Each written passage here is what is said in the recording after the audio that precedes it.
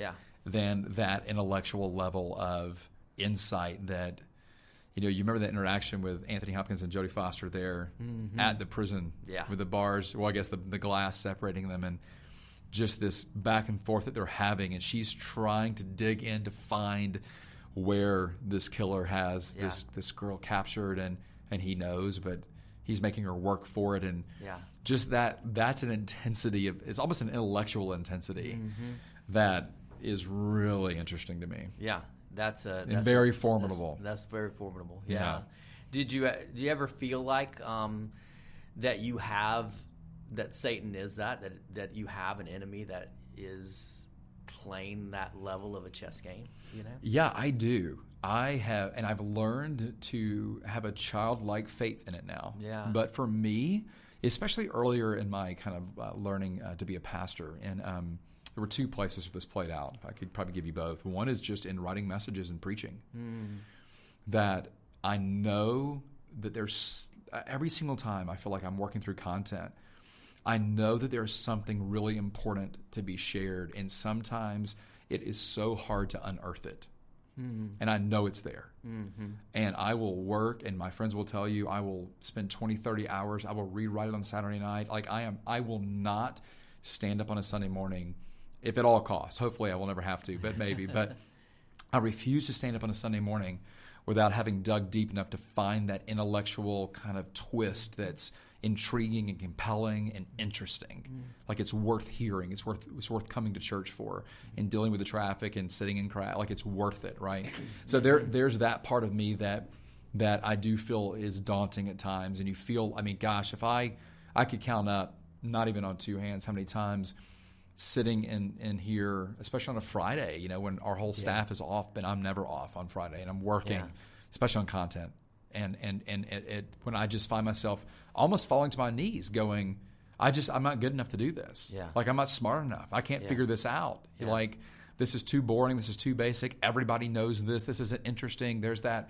I do think that's a, a, a mental game that Satan plays with me a lot. Yeah, it sounds Um, like it. Yeah, and then you just fall into sort of a, Yeah. a childlike. Yeah. I'm I'm done here. Yes, here, which know. which which leads you in preaching to then you become more concerned about what people are going to think about you as you preach than you're concerned about what God's going to do through you as you preach. What a ter- terrible place to be. Exactly. On a platform where Yeah. you're you're preaching so that people think you're smart, Hmm. not preaching so that God can do something in someone's heart, That's strong. regardless of you. That's strong. Yeah. So it's that's a hard thing that I have that to deal with. hard. Yeah. The other side of it is just being a pastor, walking through difficult situations with people where you, I mean, I'll never forget the first time I walked into a home to meet a 15 year old who um, had cancer. And, you know, and, and every other person can walk into that room and, and kind of be quiet. Um, and, and, and everybody says, well, I don't know what to say. And that's okay because you don't have to say anything. When you're the pastor, Mm. somebody's going to ask you to say something. And somebody's going to ask you mm. um, how they should process this or what they should do with it. And so, walking in feeling completely in, kind of unequipped to deal with that and not knowing what to do and just feeling afraid mm-hmm. that to that because you just don't want to mess it up mm-hmm. you know and you don't want to pray for healing Yeah. and then a person not be healed and then they question God. Yeah. It's like, you know, I just don't want to be someone's question for God, you know? Yeah. And so those, those are moments that I've obviously seven years in, I've learned to navigate a little better, but, um, but those are moments where I feel like, um, to your question early on, you Yeah. know, I just, that Satan could get in and yeah. start playing this chess game with your yeah. mind. And you just, you become so afraid. Mhm. So, yeah. That's good. Thank you for sharing that. That's awesome. Yeah. It's good because I think uh, giving people a picture of a pastor and what they have to deal with for Sunday morning, what they have to deal with, uh, you know, Monday through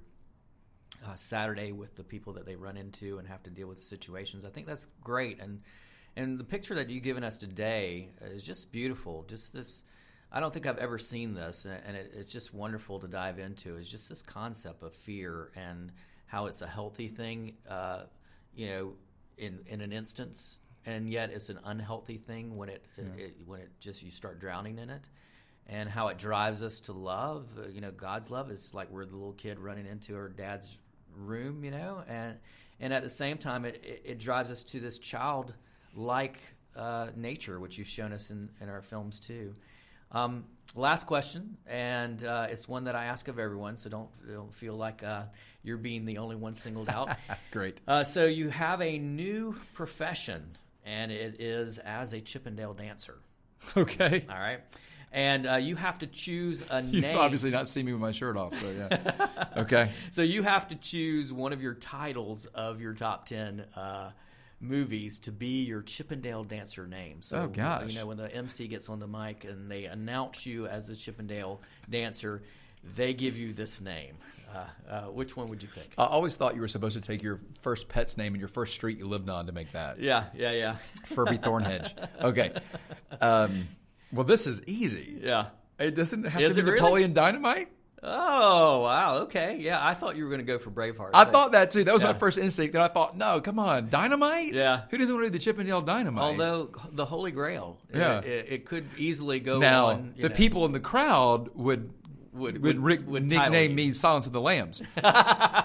please, but please, Please, yeah. put that away. Yeah. Let's be quiet. visual But- silence. We need it. Yeah, yeah. yeah. That's good. Now, if I was really good, the Sixth Sense would work. But I'm not that proud of myself, so I'd go with Napoleon Dynamite. Yeah, very nice. Well, thank you, Gavin, so much for uh, being with us today. Sure. and, uh, giving us, us such a great perspective on your top ten. Thanks for joining us for Reel Conversations.